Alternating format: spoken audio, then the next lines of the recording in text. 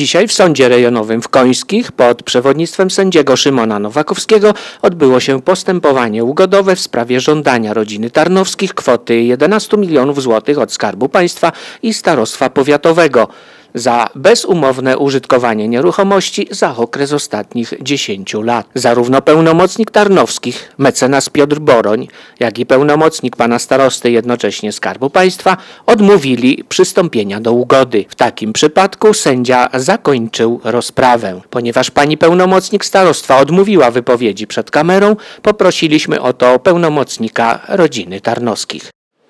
Pan reprezentuje stronę państwa tarnowskich. Przed chwilą na rozprawie ugodowej w sądzie rejonowym w Końskich dowiedzieliśmy się, że obie strony nie wyraziły zgody na e, ugodę. E, Panie mecenasie, e, proszę powiedzieć, dlaczego nie doszło do ugody z państwa strony? No do ugody nie doszło, bo tutaj rozbieżność stanowisk jest oczywista, sprzeczność interesów zarówno Skarbu Państwa, jak i rodziny Tarnowskich. Y, Myślę, że teraz y, mają y, panowie tarnowscy czas do roku, rok okres roku, kiedy mogą się zastanowić nad tym, czy bę- będą podejmować jakieś dalsze kroki prawne w związku z tymi roszczeniami za bezumowne korzystanie w stosunku do Skarbu Państwa i powiatu y, koneckiego, czy też y, no już zrezygnują i ostatecznie pogodzą się z tymi dotychczasowymi y, satysfakcjonującymi bardzo ich rozwiązaniami, jakie w sprawie zespołu pałacowo-parkowego w Końskich zapadły. Pan e, sądzi, no pan, no, pytam o pana e, prywatną opinię w tej chwili, że wyrażą zgodę i e, zgodzą się na to, żeby stracić tę kwotę 11 milionów złotych, o którą wystąpili. Znaczy ta kwota to jest taki szacunek na razie. Myślę, że jeżeli dojdzie do procesu faktycznie, to będzie to wymagało jeszcze starannego przeliczenia przez biegłego przed rozpoczęciem samego procesu e, tych kwot, zweryfikowania ich przez profesjonalnego rzeczoznawcę majątkowego.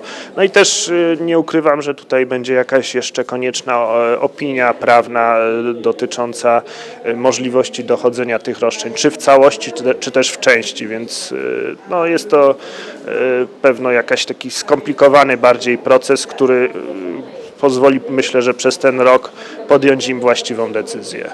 Czyli e, e, rok czasu jeszcze będą e, czekać nasi widzowie, czytelnicy pracy lokalnej na to, czy rzeczywiście państwo i samorząd będą musieli wypłacić ze swoich kas taką czy troszkę mniejszą być mo, może kwotę. Musimy poczekać. Ja myślę, że tak. Znaczy, no, pewno tutaj nie można mówić, że samorząd czy, czy, czy państwo. No, y, jest specjalny przez y, ministra Skarbu Państwa utworzony specjalny fundusz reprywatyzacyjny. Y, To są odpisy ze sprzedawanych, wcześniej znacjonalizowanych przez państwo komunistyczne e, przedsiębiorstw, a obecnie sprzedawanych przez Skarb Państwa. Są to ogromne kwoty.